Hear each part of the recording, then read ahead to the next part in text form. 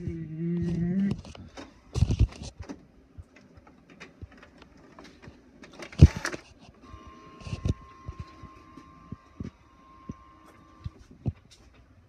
Mary.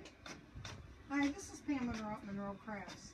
I just, I just wanted to let you know that I haven't forgot about you. I'm Where's my kiss?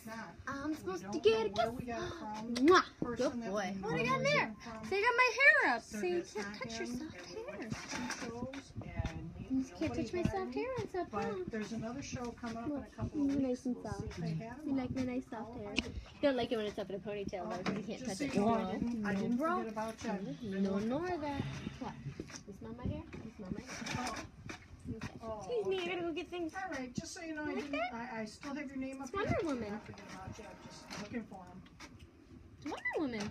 You know Wonder Woman? Oh, careful, man. You Oh, okay. All righty. the eye. Excuse me, I gotta go do garbage. Excuse me.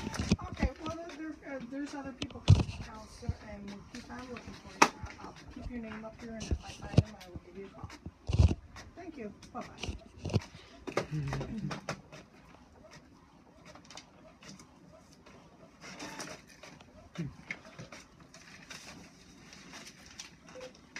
So funny, he doesn't like it when I put my hair up in a ponytail. Hair out of a ponytail, man. Just like you do me. She got her hair in a ponytail. Don't you worry about him taking it. He likes my ponytail. He messes it. He, he pulled my ribbon a little bit later. Heard you had a crummy day, Bella. Why do you have a crummy day? You said you had a crummy day today. Mm-hmm. You were a bad boy for Uncle Jim today? Well, no, the other day, and then, he, then they didn't go anywhere today, so he was crabby. Today? That's what Uncle Jimmy told me. He was a batty boy the other day, so they didn't go, they didn't go anywhere Oh, today. So oh. he was being crabby.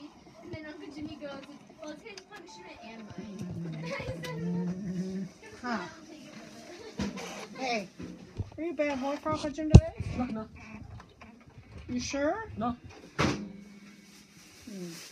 I, 'cause I asked why he was